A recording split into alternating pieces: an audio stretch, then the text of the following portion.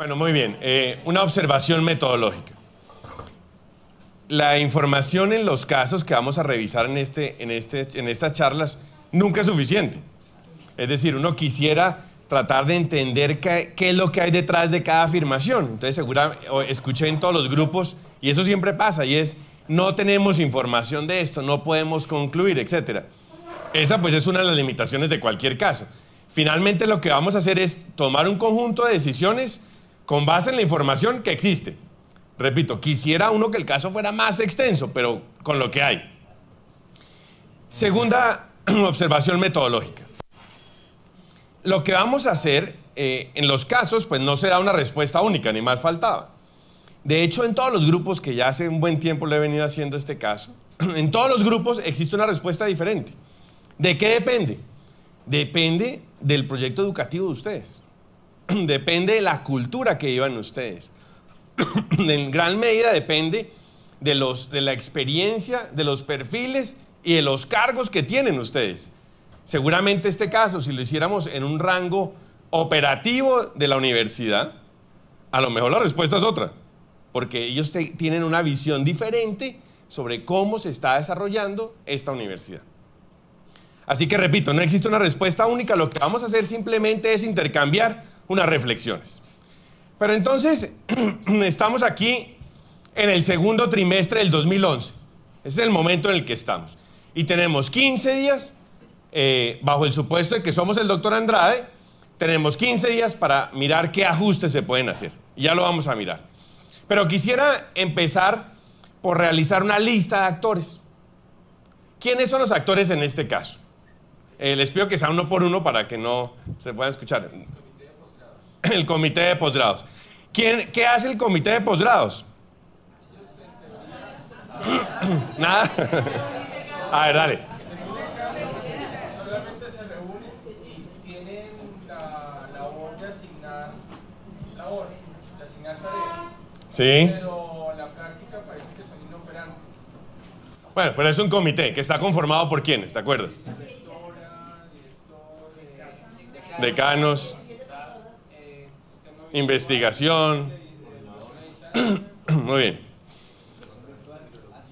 Muy bien. Todo el mundo participa. Muy bien. ¿Qué otro actor tenemos?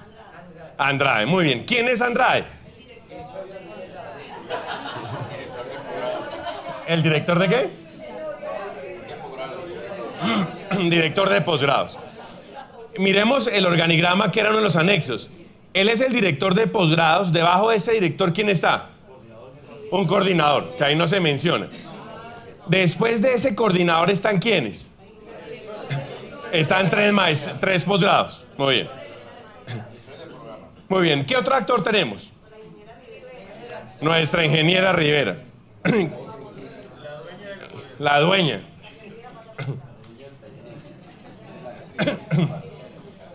Veamos un momentico qué cargo tiene la ingeniera Rivera. Ella es la responsable, hablemos de liderazgo porque estamos tratando de, introducirnos al término liderazgo. Ella es la líder. Si lo ejerce bien, mal, regular, no, pero es la líder. Eh, claro, pero es el líder de los tres posgrados. Pero en la maestría como tal, Rivera es la líder. Muy bien. Ella tiene a quienes a cargo. Docentes, coordinador, asistentes. Muy bien. Muy bien. ¿Qué otro actor tenemos? Vamos por ahora con la lista de actores y después empezamos con los juicios. ¿Quién más? Los docentes. Ah, está, es que la cinta no está funcionando bien. Está caída. Era parte de la metodología.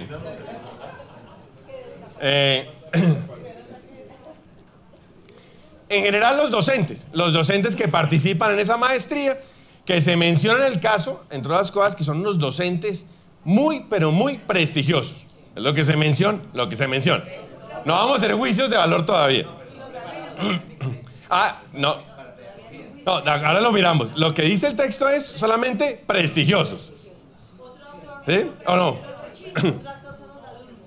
Los alumnos. Ahorita hacemos el juicio. Casi que lo que podemos afirmar es que estos son los importantes, o uno de los actores más importantes. Es decir, los estudiantes, los protagonistas del modelo educativo. Muy bien, ¿qué otro? Los tutores y revisores. Bueno, ¿quién va primero? ¿Quién atiende primero al estudiante? ¿El tutor o el revisor? ¿Qué hace el tutor y qué hace el revisor entonces? Eso es una buena tarea. Eh, pero ¿qué hace el tutor? Revisa. ¿Y qué hace entonces el revisor? Muy bien. Muy bien. ¿Qué otro actor tenemos? El Molina. Eh, carambas. Dime quién es Molina. Pero ¿qué le pasó a Molina? ¿Por qué, ¿Por qué se terminó metido en ese caso? Lo llamaron. ¿Y qué pasó? Bueno, entonces Molina de alguna manera como que sapió. ¿Eh? Dijo, ¿qué hay un tipo? ¿O no? Dijo, yo aprovecho que me están llamando y cuento. O sea, me desquito. No, no lo sabemos. Muy bien, ¿qué otro actor tenemos? ¿Qué otro actor tenemos en este caso? ¿Cómo? Rivera ya la tenemos, que fue la que se nos cayó. Que es la líder de, de la maestría. ¿Quién más?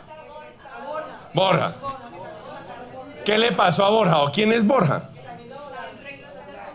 Eh, lo sacaron, pero, pero ¿quién es? ¿Por qué lo sacaron? Era el presidente del tribunal. Había revisado trabajo. Sí. El tribunal que había Claro, pero ¿y Borja qué dice? Eh, claro, como tú muy bien lo decías, es lo que él dice. No. Muy bien. Repito, es lo que él dice. Muy bien. ¿Qué otro actor tenemos en este caso? Salcedo. Salcedo es importantísimo. ¿Por qué es tan importante Salcedo? Es eh, el sapo mayor. Es quien denuncia y dice, los trabajos de pos de la maestría eh, son peores o de menos calidad más bien que los de pregrado. ¿Sí? Pero el papel de Salcedo es muy importante y quiero hacer énfasis en esto porque en todas las universidades eh, tenemos los comités, en todas las universidades está Andrade, en todas las universidades está Rivera, en todas las universidades hay un Salcedo. ¿Eh? ¿Verdad? Muy bien. Eh, ¿Quién más está ahí? Egresados, muy buen punto. Hay que escribir uno que diga egresados. Muy buen punto, porque los egresados al final los entrevistan y hacen un conjunto de afirmaciones. ¿Qué- ¿Cuál es la, la afirmación de los egresados? Dice que acompañamiento en- Sí, de los tutores, eh, que no digamos, para evaluar los trabajos. sí. Muy bien, entonces los egresados y ya ponemos, ya Lina nos está ayudando con más. Eh, ¿Tienes la cinta nueva? No. Bueno, está peor. Bueno, muy bien, egresados. ¿Qué otro eh, actor importante en este caso? Las empresas. ¿Por qué las empresas son importantes? empezaron a contratar extranjeros y entonces los eh, empresarios, bueno, los eh, Empresas. funcionarios, las personas que querían mantener sus puestos, entonces eh, hicieron la maestría para conseguir un título y ser competitivos. Muy bien, las empresas, pero además dicen que son una especie de clientes, por llamarlos así. Y es que la, el programa está orientado a tener una relación fuerte con las empresas. Dime. Eh, y además los trabajos están hechos sobre las actividades administrativas de las empresas. Ya, muy bien, entonces, de acuerdo. ¿eh? diferente a la académica. Debería ser, por la misión, etcétera, que lo vamos a ver ahora, debería ser un actor importantísimo en las empresas. Sí, muy bien. La misma universidad también el departamento de posgrados. El departamento de posgrados. Lina, entonces el departamento de posgrados. Muy bien. La, ¿Quién más? La coordinadora y asistente que hacen la función de comercialización. Eh, sí, que son las que reciben un 3%, si no estoy mal, reciben el 3%, etcétera. Muy bien. Entonces también, Lina, pongamos la, la coordinadora y asistente con su 3%. Muy bien. ¿Quién más? Molina, aquí está. Aquí está Molina, muy bien. Muy bien. Existe Los jurados, están incluidos ya Eh, digamos que pueden estar en el tribunal, si quieres lo ponemos como el tribunal. Existe un actor muy importante. Finalmente todo lo que hace una universidad lo hace para beneficiar a quién? A la sociedad. Eh, ya, ya empezamos con la... muy bien. Muy bien, y está la sociedad. Dejémoslo aquí y aquí. Sociedad mientras resolvemos el problema de la cinta. Muy bien. Veamos ahora el contexto. Esta es la que nos faltaba, la coordinadora y la asistente. Muy bien, veamos el contexto de la universidad eh, de la UL, la universidad en Ecuador. ¿Qué tipo de universidad es? Asume uno que es privada, muy bien. Eh, ¿Cuándo fue fundada? Dime. En el 65, muy bien. ¿Este tipo de universidad dónde se desarrolla? En Quito, en Ecuador. Muy bien. Eh, no vamos a seguir poniendo porque creo que se están cayendo si no se funciona la cinta. ¿Sí? Bueno. Esta universidad, ¿cuántos estudiantes tiene? On- sí, 11 mil más 450 de distancia. Luego, lo que uno creería, eh, me decía el rector que esta universidad tiene 3 mil o 5 mil, se me escapó. 5 mil. Esta universidad, para que nos hagamos una idea, es el doble de 11 mil. Y repito, está en, eh, en Ecuador. Fue fundada en 1965, es decir, es una universidad que mal contada debe tener unos 47, 48 años. Muy jovencita, sí. Muy bien. Se cayó, bueno. Eh, hasta ahí llegó la universidad. Les quiero hacer ahora el contexto que me parece muy importante del departamento de posgrados. ¿Qué información tenemos de ese departamento? ¿Cuándo se fundó? En el 99. En el 99.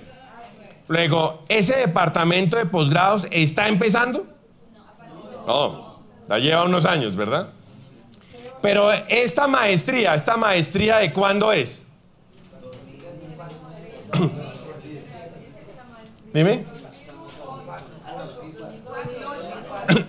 La maestría es del 2001.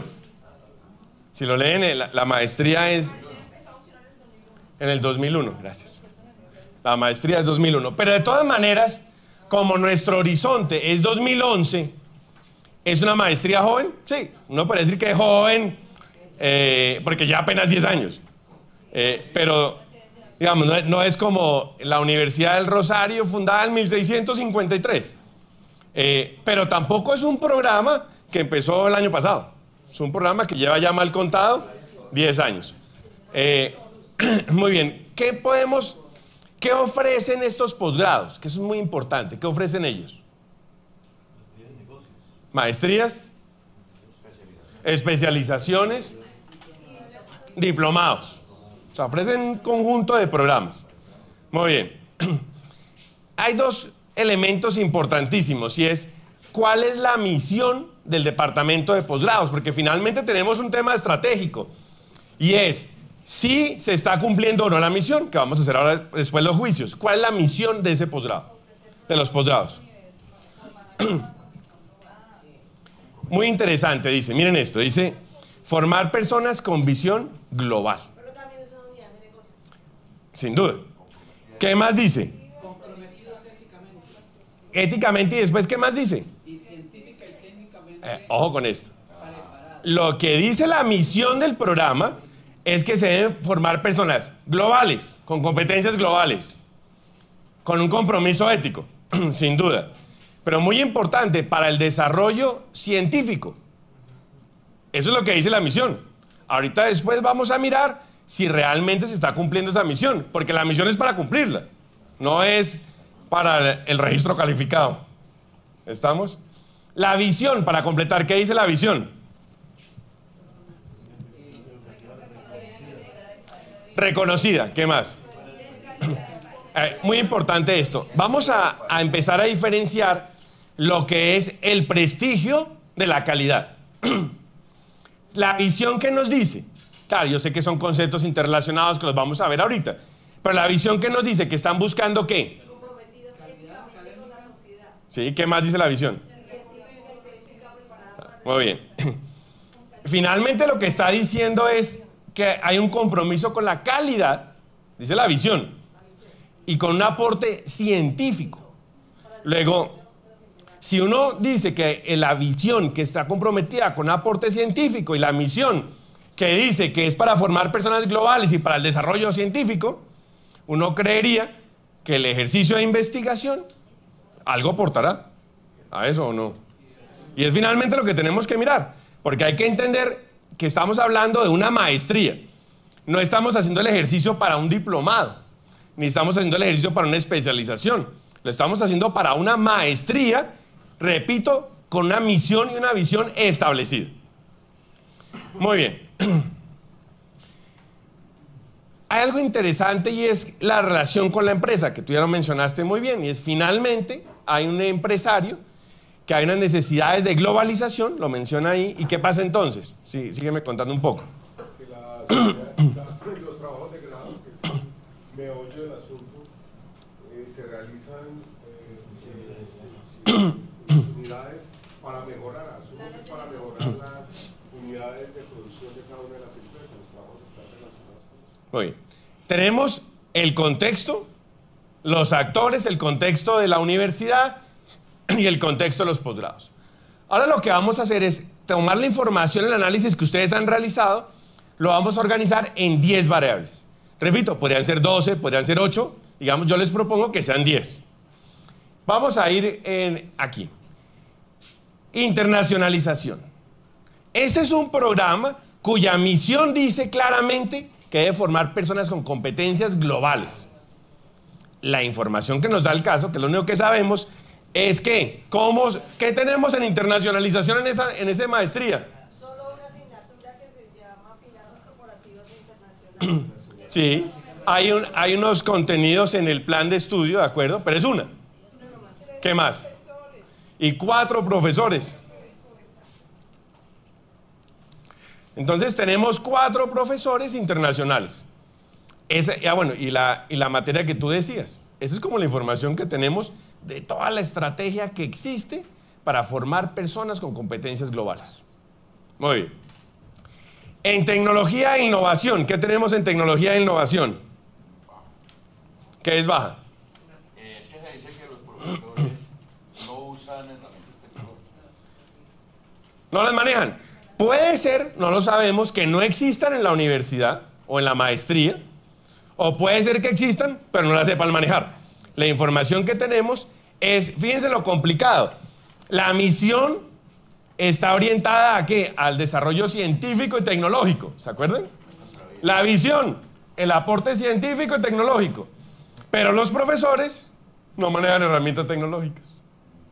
Seguramente los estudiantes, como nos pasa a todos, los estudiantes sí las manejan mejor que nosotros. Muy bien. Vamos a las alianzas y relaciones externas. Tampoco están capacitados en la parte. Ah, bueno, ya, ya vamos a los formadores. Pero si quieres vamos a las alianzas y relaciones externas. ¿Cuál es la principal alianza que dice el caso que ellos tienen? Es una alianza con las empresas. ¿Es una alianza poderosa? Sí. Son los clientes, son quienes reciben el talento, son quienes están compitiendo en la globalización. Sí lo son. Pero la pregunta es, ¿es suficiente? No. Pero lo que sabemos es que en términos de... Perdón, lo puse mal, no. Se cayó. Bueno, de alianzas y relaciones. ¿Cuál? Este. Ah, bueno, entonces dejémoslo ahí. Bueno. Muy bien. Vamos ahora a la sostenibilidad. ¿Quién es el... ¿Tú eres el financiero? Ah, porque hablabas de los costos ahí, no sé qué. ¿Quién es el financiero aquí? Ah, vamos al financiero entonces. Entonces, dime de lo financiero que tenemos, de lo financiero, la información que hay. es una unidad de negocio muy importante porque. Muy bien, es una unidad de negocio importante. Eh, sin conocer la estructura de costos de, de esta universidad, eh, pues no lo sé, por lo menos en la universidad que yo dirijo, es una unidad de negocio importante. Eh, nosotros sacamos unos márgenes como los sacan ustedes y los márgenes para nosotros son importantes. ¿sí? O sea, es una fuente de ingresos muy importante que nos permite nutrir ejercicios de investigación, que nos permite nutrir y de alguna manera subsidiar programas de pregrado que son importantes para la sociedad, pero que no son rentables, etc. Muy bien, ¿qué más nos puedes decir? Pues, sí, tiene independencia financiera. Ah, eso, eso lo vamos a ver en, en, eh, en, eh, espera, en eh, pautas de buen gobierno. Tiene una autonomía, muy bien. Pues digamos que no es tan costosa la operación. Se deja, se deja ver por la cantidad de, de- de- de funcionarios que, que tienen. No hay profesores de Está, ¿quiénes, ¿Quiénes son los que están ahí trabajando? Está Rivera con sus dos eh, Ah, coordinador y asistente, creo que se llama. ¿Los sueldos cómo son? ¿Se acuerdan de los sueldos? 32, 16 y 10. Pero los últimos dos tienen comisión. Muy bien.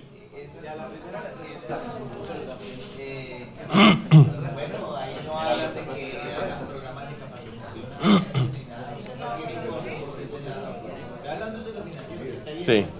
Es decir, eh, su nombre es lo que nos dice Carlos, no Carlos Andrade, sino Carlos Armando, es que, y es importante que es una fuente de ingresos importante. Esa fuente de ingresos, para que existan ingresos necesitamos qué? Estudiantes, que creo que es tu cargo, ¿no? En registro creo que es. Entonces, eso es muy importante. Es una fuente de ingresos importante. Para esto necesitamos estudiantes. Eh, con la promoción. Bueno. Veamos entonces la otra variable de estas 10 variables que les estoy enunciando. Hay una variable que se llama atracción de estudiantes. Esto seguramente ustedes lo han leído. En Estados Unidos es toda una especialización que se llama el Enrollment Management. No sé si lo han estudiado.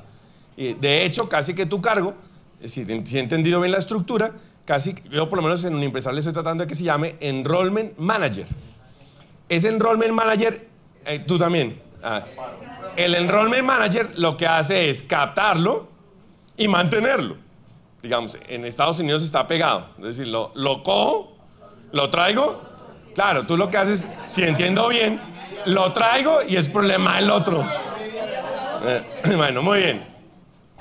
Entonces, en el atracción o enrollment manager, que son ustedes que participan, si entiendo, en diferentes etapas, dicen, mire, ¿estamos bien o estamos mal de estudiantes? Bien, bien. Bueno, en- tan es así que dicen, no, yo no voy a sacar publicidad. De hecho, eh, pongo ejemplo, nosotros en, tiempo y en eso no sacamos nada.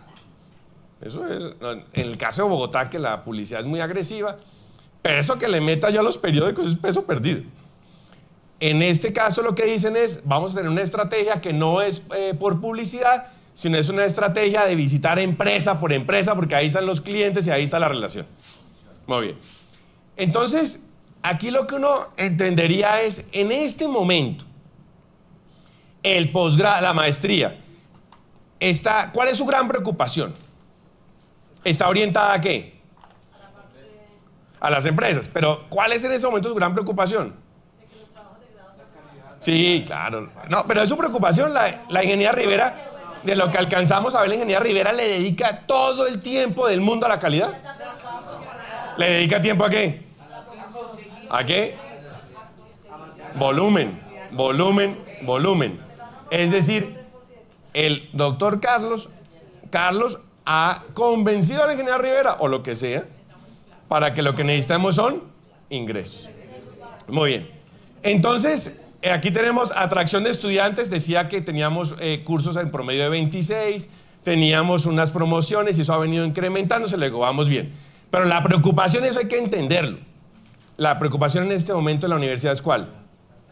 En la, no, la calidad es el problema. Pero la preocupación de Rivera y compañía, ¿cuál es? De, la preocupación de Rivera son las tesis. Ah, admisiones. Eh, ahorita estamos seguramente en el proceso de admisiones aquí también en la universidad. Entonces yo como rector llamo todos los días. ¿Cuántos? ¿Cuántos van? ¿Cuántos van? Inscritos, matriculados, y se texta, ta, ta, ta, ta, ta. ¿Sucede o no sucede? Ah, bien, todos los días. Muy bien. Eh, de estos, Este hay que entenderlo, es una atracción de estudiantes y tiene una modalidad, que es cuál? Presencial, no, ¿cuál es? Semipresencial. Esta modalidad, claro, con los créditos, etcétera, que menciona ahí, pero esta modalidad en principio, y pensémoslo así, me permite traer más o menos estudiantes. Uno creería que hay un supuesto, y es que si es semipresencial es bastante flexible y me puede traer estudiantes. Pregunto, ¿cuál es la profesión del ingeniero Rivera? ¿Ingeniera qué? Le faltó la segunda parte. Comercial. Estábamos comercial. Bueno, muy bien. Es largo y ancho. Eh, tiene maestría. Entonces, aquí digamos hay una gran preocupación, que es la preocupación de ustedes y de nuestro amigo Carlos. Y es, esto es una fuente de ingresos para la universidad y necesitamos volumen, necesitamos ventas. Claro, me dice, oiga, pero en la universidad no se va a hablar de ventas, pero necesitamos ingresos. Si no, Carlos, entonces, ¿con qué nos paga la prima y con qué nos paga el sueldo y con qué hace la inversión y con qué construye los edificios, etcétera? Pautas de buen gobierno. ¿Cómo es el buen gobierno? ¿Qué problema ético podría uno creer que, es? Claro, eh, no vamos a entrar en una discusión ética porque no, no es el caso, pero uno cree que creería. Que se paga por aprobación de los trabajos, 300 dólares, Eh, lo que tú podrías decir es, ¿existe inhabilidad eh, o incompatibilidad o conflicto de intereses? Pagan. Bueno, Bueno, sí, sí. ¿Y eso generaría un problema de buen gobierno? Pues Muy, pagan por la cantidad, no por la calidad. muy bien, muy bien. ¿Qué otro problema o ingrediente tenemos de pautas de buen gobierno?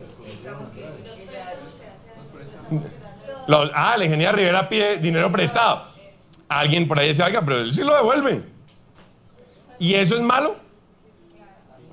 Pues no lo sé, depende de la cultura de ustedes. De la cultura de esta universidad, yo no puedo hacer el juicio. Pues si de eso depende que lo profesor, no depende, eso está mal. digamos, genera ruido, por lo menos. Un decano o lo que sea no debería estar pidiéndole prestado dinero a sus colaboradores. ¿Sí? Claro, no, no conozco el código de ética eh, de su universidad. Eh, nosotros tenemos un código de ética que en nuestro caso no permite hacer eso. Pero bueno, depende de cada cultura, eso no hay problema. Esta, este mm, pautas de buen gobierno, como tú muy bien lo mencionabas, Carlos, lo que nos dice es que existe autonomía. No 100% autonomía, no, porque depende de posgrados, pero sí existe una autonomía. Muy bien. Eh, ahorita hacemos el juicio. Muy bien. Veamos los formadores. Ya, ya no lo sigo poniendo, tranquila, por lo que no se cae. Pero de los formadores que tenemos. Uno, no están capacitados en pedagogía. Y eso lo dice claramente. No están. Claro. Eh, dicen docentes prestigiosos. Ojo, y hago énfasis: prestigio es diferente a calidad. Eh, se unen, se interrelacionan. ¿Por qué son prestigiosos los docentes? Porque son empresarios y ¿por qué más? Tienen eh, grandes cargos y ¿qué más? Maestrías nacionales e internacionales. Entonces, oiga, yo aquí en la universidad le traigo al presidente de Siemens, o le traigo al presidente de Coca-Cola. ¿Sabe enseñar? No tengo ni idea, pero es el presidente de Coca-Cola. ¿Eso me da prestigio a mi posgrado? ¿Me sirve para el enrollment? El eh, director de Coca-Cola es el... eh, ¿Sí me sirve o no? Muy bien. ¿Qué más podemos saber de los docentes? Son de cátedra, no hay de planta. Muy bien. ¿Cómo? ¿Cómo, cómo les va a los docentes en la evaluación? Bien. Ah, bueno. Pero según la información, ¿a los docentes les va bien o les va mal? ¿Y eso les ayuda al prestigio? Sí. ¿Por qué el docente quiere estar en la universidad? ¿Por qué el presidente de Coca-Cola quiere estar trabajando en la Universidad de Ibagué? O en la empresarial, en la que sea. Prestigio. Prestigio. Ah, también hay un aporte social, el aporte de la comunidad, etcétera, pero también. Ah, ah, pues sí, digamos, ma- más, eh, más comercial. Eh, muy bien. Vamos, ya hicimos, vamos ahora entonces al, aquí es donde está la formación por competencias e investigación. De lo que uno alcanza a entender, ¿esta maestría está formando por competencias o está haciendo el método tradicional de sumatoria de contenidos? Contenidos. De hecho, lo, lo dice, los profesores son transmisores de información. Luego, digamos que es una universidad o una maestría que por la información que tenemos no está formando competencias. Que entendemos que las competencias es la convergencia de los conocimientos, actitudes, habilidades, bueno, todo eso que ustedes han estudiado con autores como Leonard Mertens o aquí en Colombia. ¿Sí?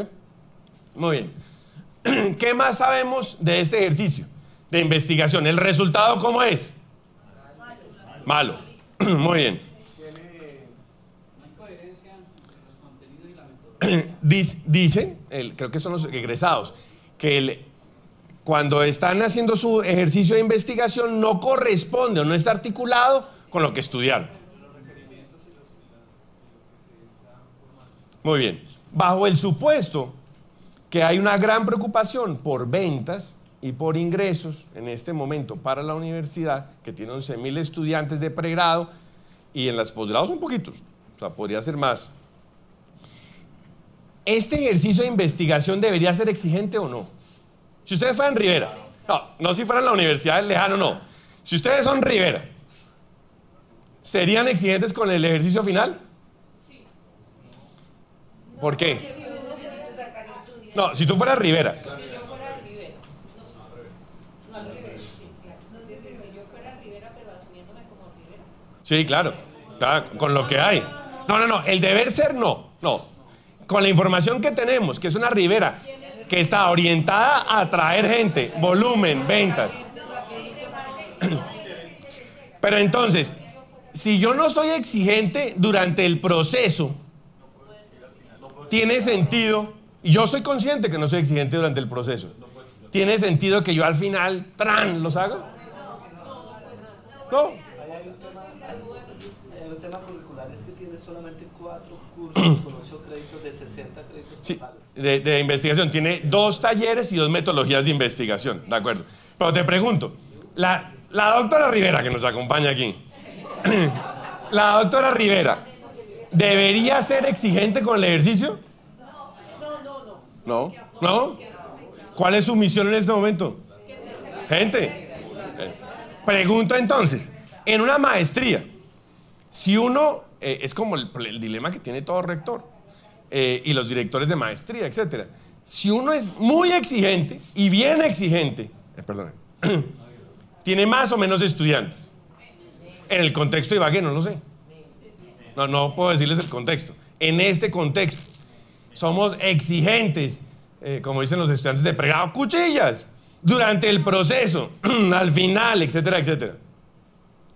¿Debería? Depende de qué. bagaje que ellos tengan antes de llegar ahí. Porque es que la, el, el rendimiento, si una universidad es exigencia académicamente, eso puede atraer gente. Pero es gente de mucha calidad y es escaso. Ya, pero fíjate, es interesante. En el enrollment, ¿la gente llega por la calidad o llega por el prestigio? Entonces yo le voy a apuntar al prestigio o la calidad. A las dos. Pero el énfasis. Yo no digo que sea así, digo lo que dice el caso. Eh, en este contexto. No, no, no. No, no, no. Yo no estoy diciendo como rector que abajo la calidad vea el prestigio. No. Lo que estoy diciendo es, esta universidad que favorece el prestigio, debe apuntarle a qué? Muy bien. Entonces, eh, fíjense que hemos analizado nuestras 10 variables. Atracción, pautas, equipo de trabajo, formadores, sostenibilidad. Nuestro amigo Carlos, que parece que es el que manda eh, con la parte financiera. Eh, alianzas, tenemos competencias, maximización de talentos. ¿Estamos maximizando los talentos de los participantes? ¿La exigencia es máxima? No creería que no. Pero ojo, pero ¿tengo retención? No, no menciona el caso que exista una gran deserción, ¿o sí? ¿No? La prueba de eso es que a los estudiantes, ¿cómo les va en las notas? Entonces, Yo, eh, repito, el caso, no estoy diciendo que sea así. Yo trato pasito a los estudiantes y los estudiantes me tratan pasito. Hagámonos pasito. Eh, sucede en las universidades, no aquí, sucede en algunas universidades colombianas. ¿Sí?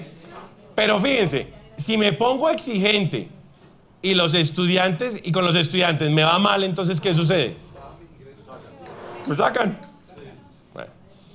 Quiero hacerles una pregunta, repito, no que la compartas. Pregunto, ¿la ingeniera Rivera tiene un esquema coherente? Sí.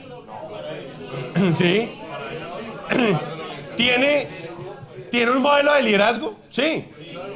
¿Tiene un modelito de gestión? ¿Ella organiza estas 10 variables de, de X manera que le funcione? Sí. Ah, eso lo vamos a ver ahorita. Pero te pregunto, ¿ella es consistente?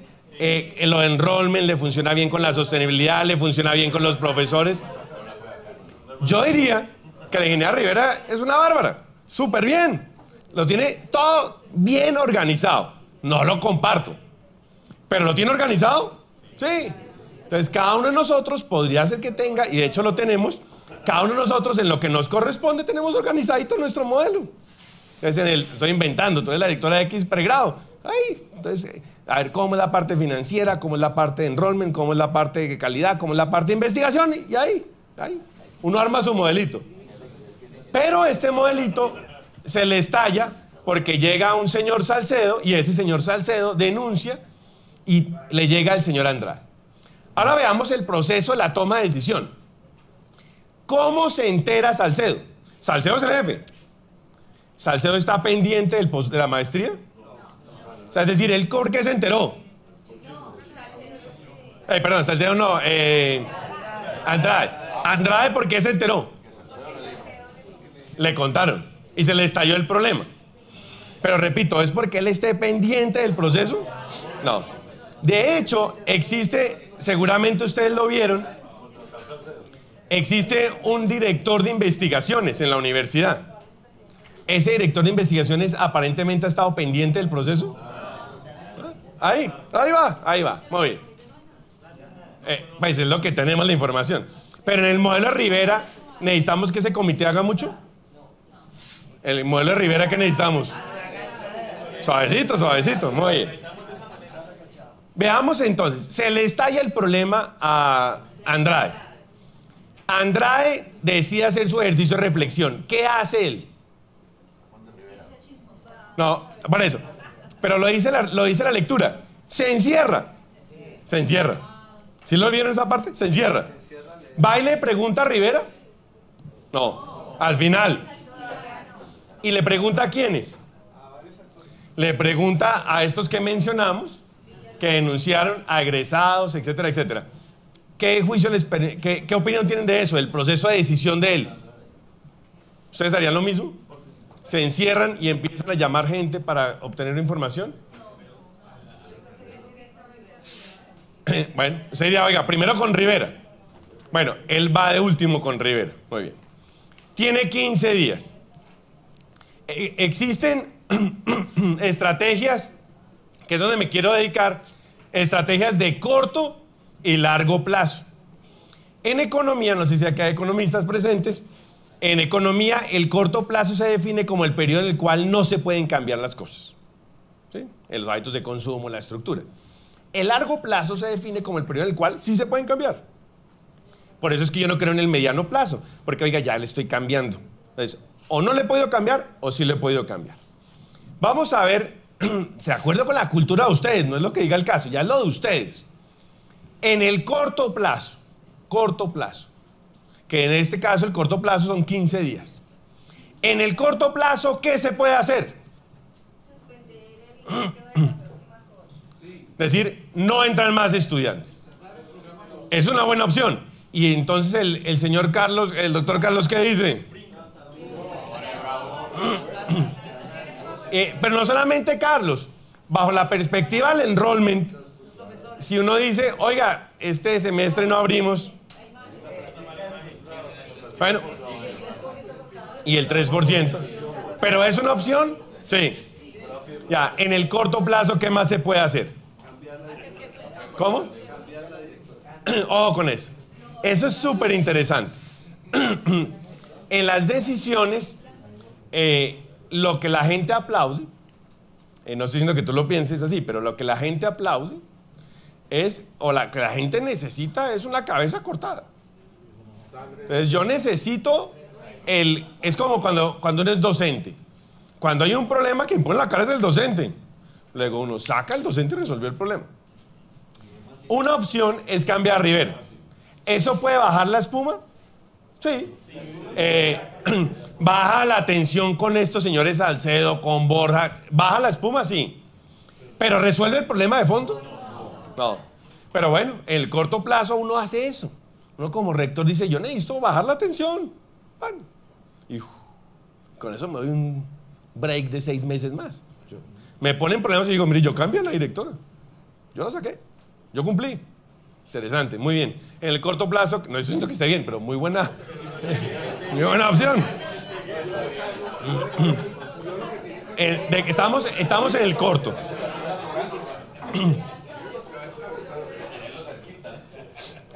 el corto plazo establecer un, un plan de contingencia de acción, de acompañamiento rápido ¿A qué? para los estudiantes que están desarrollando sus proyectos Sí. tanto como para la ingeniera Rivera, para que aproxime una forma de gestión que incorpore más la calidad académica en este Bueno, esa es de largo. La, la primera sí es de corto y es en el corto plazo. Miremos a ver quiénes están haciendo en este momento la tesis, quiénes están haciendo el ejercicio y acompañémoslos. Muy bien. Ah, un acompañamiento y sentarme con ella y decirle, mire esto. Pero te hago una pregunta. ¿Depende la política de la universidad? ¿La ingeniera Rivera tiene esa política porque ella lo decide o porque se la están diciendo? No lo sabemos. No lo sabemos. No, ella es autónoma, pero, pero repito, finalmente el director de una maestría que está, hace énfasis en lo comercial, énfasis en el enrollment, énfasis en eso, ¿es porque ella lo decide? ¿O porque le van orientando y eso, oiga, la política? No lo dice, no lo dice, dime. Pero, ahí dice que es una universidad donde el prestigio y prestigiosos. El prestigio, no la calidad. Exacto. Sí.